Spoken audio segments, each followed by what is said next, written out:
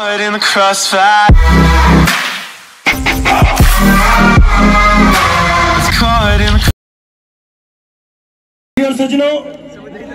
Miss मरवन प्रतियोगिता समर्पित है उस रेगिस्तान की नारी को जो कि सौंदर्य का पर्याय मानी जाती थी, जिसकी प्रेम गाथाएँ आज भी राजस्थान के ग्रामीण अंचलों में चौपाल पर कहीं सुनी, समझी और गूंजती हुई भी पाती है। और इसी मारू जिसे हम मरवण कहते हैं, उसकी प्रेम गाथाओं को केवल एक क्षण भर के लिए, अनुभूत करने के लिए कि यदि हम अपने काल से पीछे की तरफ़ जाएँ और हम देखना चाहें कि कैसी थी मारू, कैसी लगती थी मरवण कैसी थी उसकी आँखें?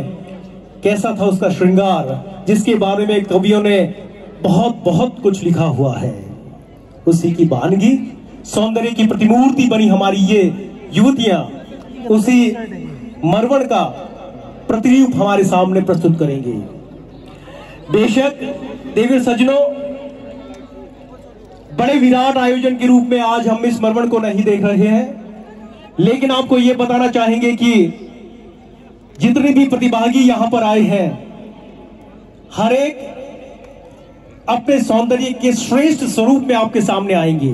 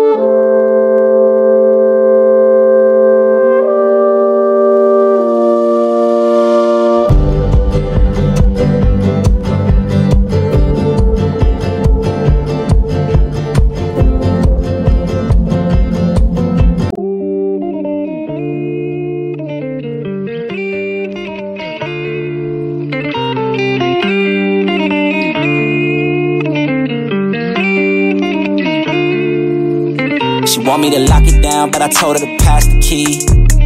You gotta slow it down, girl, you moving too fast for me. Nobody did it like this, so they wonder, they asking me. If I can slow it down, cause it's coming too fast for me. Baby, don't try, just stop it. You should know that I got options. I be fly like I live in the cockpit. Mess around with the money, get drop kick. Only one in the city to pop quick. Never cared about being your top 10. Got a house in the hills, can you top this? I came from where them boys leave you topless. They get crazy around here in my section.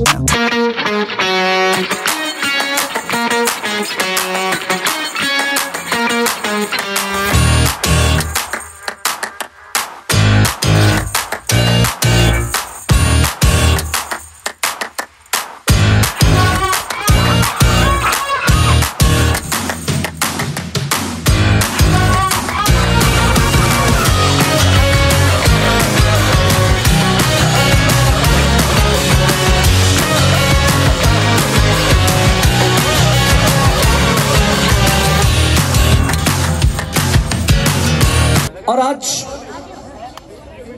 सुबह से लेकर अब तक की इस camel festival की यात्रा में पहले दिन यूँ लगता है जैसे एक सुनहरी इबारत ऊँट उत्सव के आयोजनों में और लिखी जा रही है। एक बार आपकी तरफ़ से तालियाँ हो जानी चाहिए। यह वक्त रुकता नहीं, थमता नहीं, ठहरता नहीं। और जब दुष्यंत कुमार कहते हैं कि होके मायूस न यूँ शाम की तरह ढलते रहिए, जीवन एक भोर है, सूरज की तरह निकलते रहिए। एक पाँव पर खड़े रहोगे तो थक जाओगे, धीरे धीरे ही सही, मगर चलते रहिए चलते रहिए। आज सुबह की जो भोर थी, वो बहुत ही सुनहरी भोर थी। और हम यूँ कहें कि एक उड़ान थी उम्मीदों की। उस अनुसंधान केंद्र पर हमने देखा रोमांच रफ्तार का, वो भी रेगिस्तानी जहाज़ का। और अब आपके सामने सबसे ज़बरदस्त आकर्षण, जैसे हम मिस्टर बीकाना कंपटीशन के रूप में जानते हैं। मिस्टर बीकाना नाम लेते ही हमारे सामने वो रौबदार चेहरे आ जाते हैं, लंबी दाढ़ी, मूछे, कद, चौड़े कंधे, ललाट उन्नत और उसके बाद उनके शानदार अंदाज में उनकी वॉक उनके चलने का अंदाज। और बाकी में वो ठसक, वो धमक खासतौर से इन रणबांकुरों की देखते ही बनती है। और राजस्थान में जो मेले हैं, उन मेलों में ये रणबांकुरे एक बड़ा आकर्षण बनते हैं। एक बार आपकी तालियाँ भी होनी चाहिए।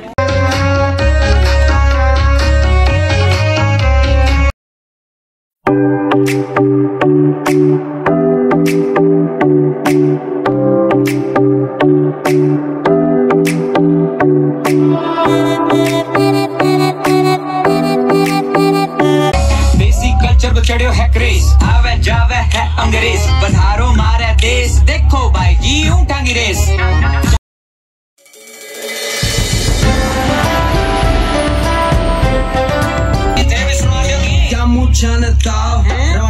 में साफ़ पिज्जा पुज्जा खावा कोनी भावे माने कैर किस